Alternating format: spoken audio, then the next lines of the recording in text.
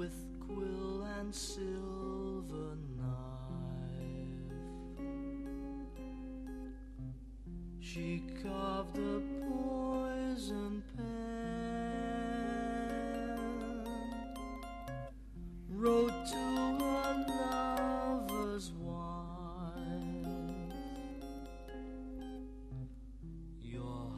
husband's seed has fed my flesh as if a leper's face.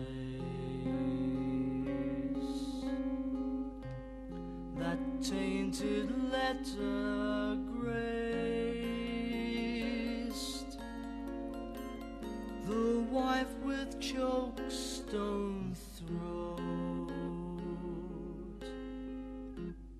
ran to the